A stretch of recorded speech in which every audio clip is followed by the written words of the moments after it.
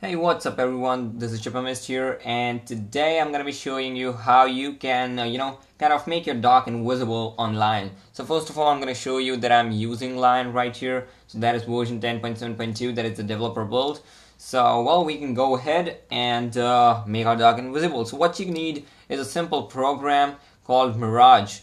Now you can get it for free. I will put the link in the description below on where you can download that. So just uh, you know kind of pop that application off and here you are. Now you have actually four options to do that. You can install the invisible dock, the separator, indicator and stacks. Indicator and stacks are not totally recommended because you know you won't be able to see which applications are running and uh, the stacks would be invisible so you know uh, it will be a little weird seeing that.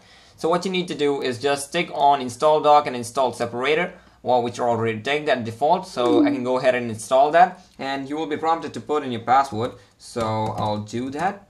And well it would go off. And here we are the invisible dock and uh, this kind of turns it into a 2D look but uh, this looks pretty cool. You can also go ahead and restore that by clicking on the restore button right here.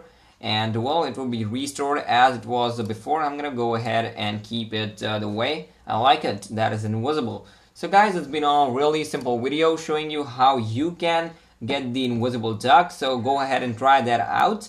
Until the next time, this is ChipperMist here. You can follow me at Twitter at twitter.com slash and also like my Facebook page at facebook.com slash. Thumbs up this video and do remember to subscribe to the channel by clicking the subscribe link above this video because guys, that really helps me out.